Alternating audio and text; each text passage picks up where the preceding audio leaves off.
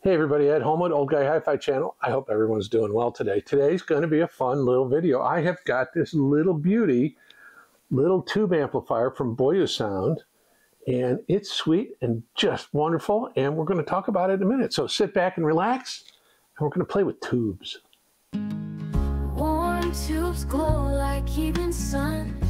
Memories return one by one. Echoes of the music's fun. Magic sounds have just begun. Oh, got hi-fi talking true. Stereo dreams he shares with you. Feel the rhythms break through. Music's heartbeat soft but true.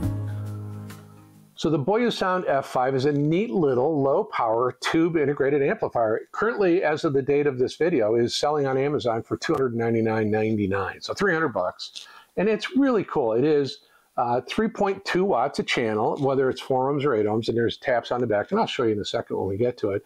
Um, it does have a frequency response of 35 hertz to 25,000 hertz, so it doesn't dig super deep, but believe me, the bass it provides is very, very satisfying. Now, the way it works is it uses a 6N1, and this is actually a 6N1J for the voltage preamplification, and then 6L6 is for the output amplification. Now, this is a dual triode design, so it has two triode sections, you know, in one tube, so it obviously can do stereo, and it's it adds some flexibility for the designers in that using they can use one section for gain and the other section for phase splitting. Now the tubes themselves are 6L6 and they're typically used in single-ended pure class A and this is a pure class A amplifier. Um, this provides large driving current, so it's got good current even though it's not a lot of power. You could run these tubes at a higher, get a higher wattage out of them, but there's some limitations on the transformer where there's a lot of money being spent. So the 6L6 is actually um, a beam powered tetrode. And basically what it is in this type of a tube, the design includes a beam-forming structure that helps focus the electrons from the cathode to the anode. Now, there are plates that give off electrons, and that's what transfers the power from one end of the tube to the other end of the tube. And it, this improves efficiency and performance. While it has the features of a triode, the cathode anode plate, control grid, and two beamforming plates, the configuration allows for higher power better linearity, and that's really, I think, why they're using it here. So it's very, very popular. Now, you can roll tubes on this all day long if you want to, and I'm going to have to read off the script to tell you what they are. So you can do, for the output tubes to replace the 6L6s, you can do 6P3Ps. You can do EL34s, are very popular. 6550s, again, very popular. KT66s. And for the preamp tubes, you can do 6N1s through 6H1s, and there's variations of those, or ECC85s, which are really common, easy to get. Um, it does use 150 watt power transformer, but a 15 watt linear output transformer. All tube amplifiers, most tube amplifiers have output transformers. There are designs called OTL or output transformer less tubes uh, amplifiers, but they're not very common. Uh, and they can be very expensive and they can be rather unstable. So anyway, that's it. This will drive anything you want to plug into it. And honestly, I did. And we're going to talk about that. Let me fit, spin it around real quick and show you the back just real fast. Two inputs and a switch for the sources, right? So CD and auxiliary. You got your 8 ohm taps, your 4 ohm taps, your ground, your IEC power socket. That's it. On the front panel, there is a separate power control and volume control. And it's a really neat little piece. So what the way I tested it, and I'm going to show you a, a couple of quick things. I've been using it with the Dali Opticon 2 Mark II uh, six and a half inch stand mount speakers. They are four ohms and they're rated at 86 dB. So they're not easy to drive. And when I do this, I'm going to, what I did was I took the Douk Audio VU3 Pro and I'm going to show you the power meter and show you how much power the amp's actually putting out. And then I'm going to show you an SPL meter on the same screen so you can see the output of this little beauty into 86 dB efficient speakers, and it's quite remarkable. So we'll have fun with that in just a second. It's going to take me a second to reconfigure for that, so bear with me, and I'll be right back.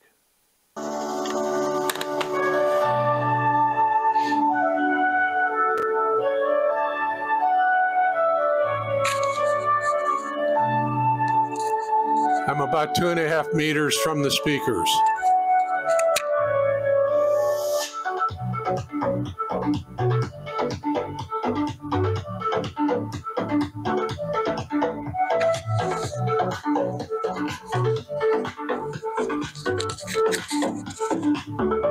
As you can see, we're just barely hitting one watt.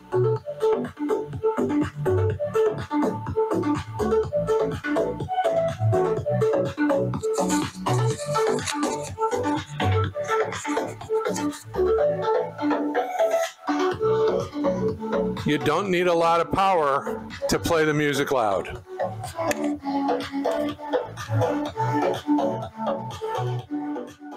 Well, as you can see from that little demonstration, you know, one watt goes a long way. We were peaking on the meter at just a little over one watt, and we were seeing peaks in the low 80 dB range. We were consistently in the, you know, mid to upper 70 dB range, and it sounded great, and it was plenty loud. I mean, most of us don't listen at 80 plus dB frequently, occasionally, but most of us listen in the 70 dB range, peaks into the 80s, maybe a bit. So you can do that with one watt, maybe a watt and a half. So it's a bit of a kind of a, a dichotomy of what we think we need watt wise and what we actually use watt wise. You know, I've got a bunch of amplifiers that are over 100 watts a channel. I don't ever use them that at, at that level of power or ask it to deliver that level of power ever. But there are some things to be said for headroom and dynamics and all the other stuff, which are important. But it goes to prove that a little amplifier is just a wonderful thing. It can do wonders. Now, the thing about this amp and the thing about most tube amps like this in this low watt category is their sound quality is just amazing. This has that classic tube sound. Um, I did, I ran it with the Dali Opticons. I fed it, believe it or not, I fed it off the LAIV Harmony DAC um, to give it the best possible signal. And this is not I, you know what, I wouldn't be playing AC/DC on this amplifier. Um, I would play more acoustic music, vocals. Everything sounded good. Now we'll talk about the albums I used, um, but and there's some dynamic stuff in there. But the sweetness of this is just amazing. The the, the Class A sound, that tube warmth, just comes through in buckets on this little bad boy. And for 300 bucks, if you're tube curious and you want to get started and you're not sure where to begin, this isn't a bad spot because you can roll tubes. EL34s and KT66s and 6550s are readily available. So it's not that hard to do and it's not expensive. So it's a lot of fun. Now, granted, it has no features, but you know what? It makes music and it makes really pretty music. So I tested it with the Dali Opticon 2 Mark IIs. I tested it with the ELAC DBR 62s. I even ran it on the Neil Blanchard design MLTL6s and it did okay. Um, you know, as I said, if you have a speaker that's in the 90 dB range, high 80s, low 90 dB range, you're never going to use more than maybe two watts of it. Um, just because it's going to be so loud, you're not going to be comfortable sitting there listening to it. So to test it out, I used a couple of different albums. I used this album from Dave Mason called Let It Flow. Now, Dave Mason is a classic 70s rock guitarist. I mean, he was part of uh, Traffic, Blind Faith, Derek and the Dominos. He played with Delaney and Bonnie. He played guitar on George Harrison's album All Things Must Pass.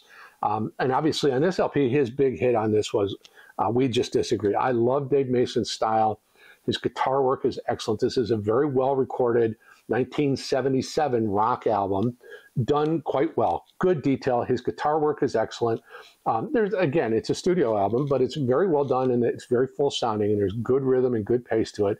And you know, did this dig all the way down to the bottom octave? No, but the bass it gave you was very satisfying. It was very full. It's kind of a lush sound, and that's one of the things about these kinds of low watt Class A uh, SET tube amps is they are lush sounding. It's that, you know, kind of classic stereotypical tube sound. Now to do something a little bit different, because I like doing stuff different, I did this. This is an amazing album from Ravi Shankar and Zubin Mehta. It's called the Sitar Concerto Number Two Raga Mala, and it actually was commissioned by the New York Philharmonic Orchestra in 1981 and is dedicated to Ravi Shankar's collaborator on this, Zubin Mehta. But this is an actual recording from the uh, London Philharmonic in 1982. Um, and it is an interesting album in that it kind of combines the rich tapestry of classical of Indian classical forms, kind of put into a Western musical convention and structure, and kind of a more orchestral thing. But Ravi Shankar's sitar playing is absolutely amazing. It's a fascinating listen. The space around it, you can hear it was a very good recording as far as room dynamics and imaging. You can hear he's centered. Um, you know, imaging on these amplifiers is kind of it's it's lush and it's full and it's kind of holographic. It's not laser focused and it's not pinpoint, but center image is good, depth is good, width is good, but it's just it's kind of like a an impressionist painting of what's going on in the music. You get a sense of it, you get the, the richness of it and the, kind of the holographic, and you kind of got to squint a little bit to find things, you know, precisely placed. But it's just so wonderful to listen to, and just the sound quality is amazing. So to do a little bit more kind of contemporary rock and roll, this album from the Pretenders called "Get Close," and this is from 1986. And this is the fourth album for the Pretenders, and it's the third lineup for the band. Obviously, Chrissie Hynde is an amazing songwriter, singer, musician, and everything. Um, she's in full stride on this recording. Um, it is got a collection of kind of really soulful, you know, her very textured, very, very interesting voice, and kind of some more mid tempo pop stuff. It was very radio friendly back in the day in 86. But there's some great stuff, and there's a real standout song on this. For me, it's called Hymn to Her, and it's H Y M N to her. It is remarkable. Her voice is amazing. It just, it's delicate and powerful all at the same time. It's textured, it's nuanced. Now, there's no recording and there's a lot there's some reverb on this but the nice thing about this album is there's little or no compression at all. So it's very good and dynamic and this kept pace the whole time. Again the richness of the tubes and the smoothness of the sound just made it so pleasant to listen to. You can sit and listen to this all day long. This is not for the times when you want to do precise listening and you want to know where where that violin is standing where that cello is and where that bassoon is and that kind of stuff. It, it, this is for just sitting back, relaxing, and just letting the music kind of wash over you and, and, and envelop you and just kind of soothe you. And that's the wonderful thing about these little amplifiers is they do that really well. And this one was very, very pleasing. So that's the Boyuusound F5. I enjoyed it. If again, if you're tube curious, it's a very inexpensive way to get going. And if you've got a decent speaker system that, again, mid mid 80s into the 90 dB range, you're going to be fine as long as you're not playing AC/DC at concert levels. Um, it's you know it is just a wonderful little thing. I really enjoyed it. Anyway, hopefully you enjoyed the video. And hopefully you'll be willing to give me a, a like and a subscription. And if you wish to support the channel, there's a thank you button at the bottom of the video window. And also membership links in the pinned comment and in the video description. There will be an Amazon affiliate link to this. And if you're curious about it and you want to do it, I would appreciate your using that link. There are also links to other uh, products, affiliate links to other products in the description. My playlists are in there. Some things are getting trimmed up a little bit. Um, please check out the community post. You guys have sent some great playlists in. Please comment. Let me know what you think. Are you thinking about tubes? Do you do tubes now? What are your favorite tubes? Um, I've got a bunch of tube stuff here now. I've got stuff with KT88s. I've got stuff with EL84s. I got like four or five tube amps here. So it's going to be fun coming up. Um, anyway, like, subscribe, comment, follow me on Instagram. My name's Ed Homewood. This is the Old Guy Hi-Fi channel. It's now time for you to sit back in your easy chair and listen to some wonderful music on a warm, lush, little soothing amplifier like this. Thanks so much. I appreciate it. Have a wonderful day.